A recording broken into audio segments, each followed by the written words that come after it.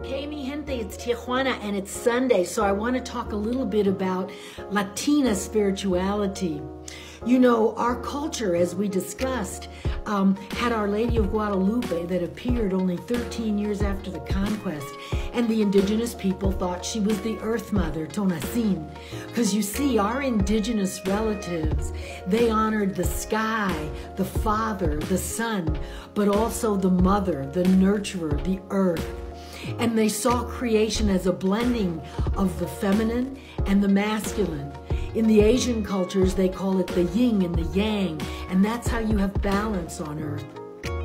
Well, in our culture, we worship and we love the mother aspects, including our own mothers have such a, a, high status in the Latino culture because the mother is nourishment, the mother is life, the mother is the sustainer of all things. The mother is the healer, the caring, the support, the joy that we have as humans. The mother can take compost and make it into wonderful vegetables and fruit and flowers. The mother continuously renews the earth and brings us all together because the mother encompasses all. Just think about the earth today and how we have to start caring for her and how we have to bring this into balance that we must love and nourish our earth mother. So every country in Latin America has their Madonna or their patron saint.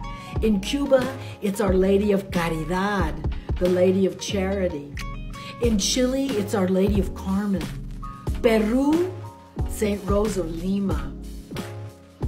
In Brazil, they have La Senora de Aparecida, the one who appeared. Because all of these Madonnas, all of these wonderful madres of our countries had some miraculous way, like Our Lady of Guadalupe, where the statues were found or the woman spoke to the people about care and compassion. And so Latinos bring that sense of, of the feminine, of the Latina, of the power of caring and compassion. And we need that so much on our earth today. Today, when climate change is at our doorstep, when the mother is so fragile because of overuse and not being cared for and not having that harmony and that beautiful spirit of caring for each other, of seeing all of us as children of, of, of the one mother.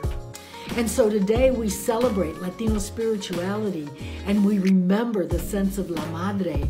We respect the women in our lives. We remember the caring and love of our grandmothers and our mothers. And we say gracias for the beautiful spirit